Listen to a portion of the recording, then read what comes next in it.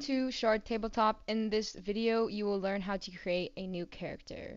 So to start off, you will come up here to the My Character section and click the New Character button. Here you see a random name is generated for you. If you do not like the name, you can always switch it out by clicking Random Name down here. You can also type in your own name if you wish. For this tutorial, I'm just going to generate a random name.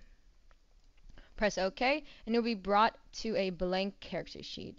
Now, to get a lay of the land, you want to first pick your race, background, class, abilities. You can pick them in any order. Down here, you have your stats, you have your skills, your weapons, your equipment, and some description of your character. So to start, I'm going to pick a race. Here you have a ton of options. You can also expand on certain races if you want a specific type. I'm going to be a hill dwarf. Uh, below you have a ton of information on the selected race. Also up here you have more names generated based off of your race and you can also filter it to be male or female. And if you don't like the three names that are given, you can always select more to be generated. After that, you can come down here and select tools. I'm going to just use Smith tools. Go ahead, press close. Now moving on to the background. Again, you have a ton of options. For this video, I'm going to be a hermit. Have your information of your background below, and I can select my language. Um, I'm going to select Draconic, and go ahead press close. Next is class. Let's see, I'm going to be a druid, and you have information below your class features. Go ahead and press save. Now here are your character levels. For this video, we are not increasing any levels, but this is where you would come during your campaign if your character increased level. So we're going to select our proficiencies. Uh, let's see, I want to do nature and survival. Go ahead and click close, not add level. Alright, come up here to your abilities. And here there are multiple different ways to input your ability scores, there's a standard array.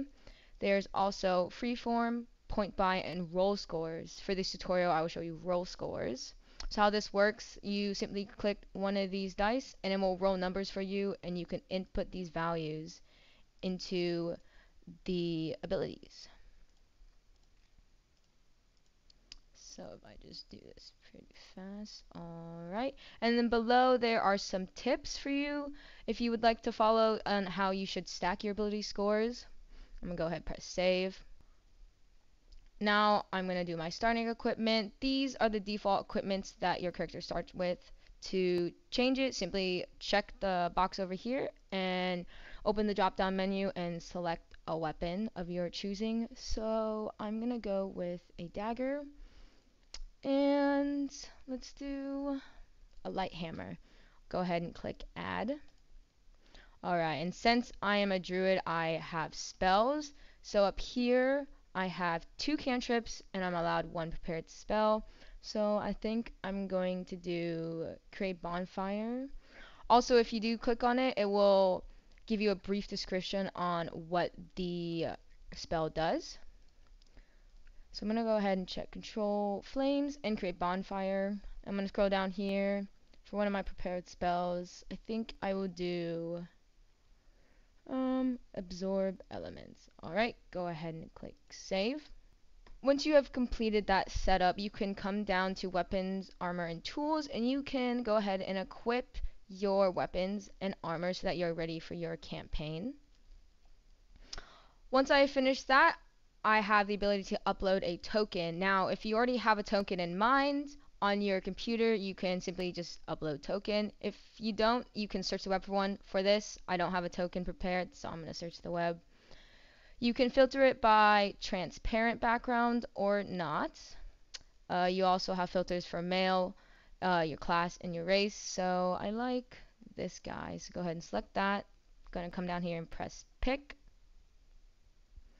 Alright, the cool thing about this is that I can actually drag and move the image wherever I want into the token. I can also zoom in if I want more detail on my character to show on my token.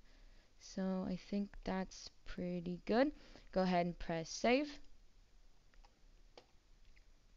Alright, and your token should appear up in this corner up here. Now, as I drag my mouse over my skills, you see that they are highlighted in green. These you can simply click on and it will roll dice for you. You can also select if you have an advantage or a disadvantage and it will roll the dice for you again. So anything that gets highlighted in green when you hover over it with your mouse, you can roll. Also with the the dice icon up here, you can roll that and it will roll that as well. Same with these stats up here. You may also do it for weapons and especially when you are attacking if you do a critical hit, you press critical hit and it will roll your crit hit for you. Now, you can also change the color of the dice. So let's say I don't want blue. I can simply come up here, click my character name, uh, drop down menu will appear, simply go down to pick dice, and I have a variety of colors to choose from. I'm gonna pick purple and I can go ahead and just roll the dice. Boom, it's purple. Alrighty, the last thing I'm going to show you guys is that you can provide a description of your character. So simply scroll down to the description box and click on it. You can first start with your alignment. You can choose to be unaligned or you can choose from one of these options. I'm going to be lawfully evil or lawful evil. Uh, before you start your descriptions, if you look at the bottom of the box, there are provided features for your character that you can follow to provide a more accurate description. So I'm going to start by making my character male.